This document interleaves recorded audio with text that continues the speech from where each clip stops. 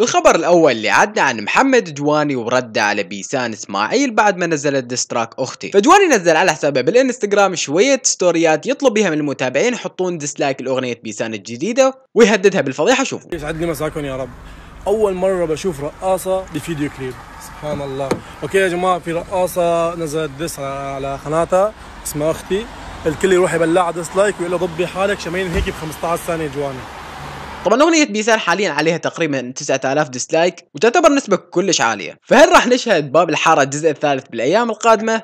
خلينا ننتظر ونشوف. الخبر الثاني اللي عدنا عن ياسو وليش قاطع عن اليوتيوب بآخر فترة خاصه إنه آخر مقطع قبل أسبوعين. فالاغلب دي يسأل عن السبب فياسو نزلت على حسابها بالإنستغرام شوية ستوريات توضح بها سبب الانقطاع وتقول إنها حترجع قريبا. شوفوا الستوريات.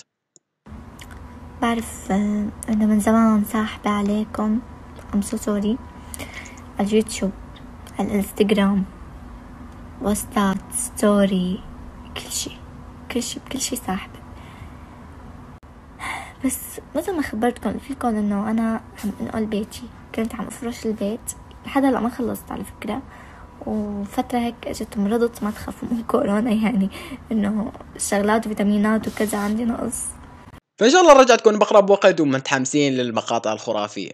الخبر الثالث اللي عدنا عن نارين بيوتي وتغيير شكلها ل 180 درجة، فنارين نزلت على حسابها بالإنستغرام شوية ستوريات قبل ما تغير شكلها وبعد ما تغير شكلها، فهذا شكلها قبل التغيير وشوفوا الستوريات بعد التغيير. Hi guys, معكم نارين with curly hair. Thank you فؤاد. فؤاد اشطر واحد على الأرض.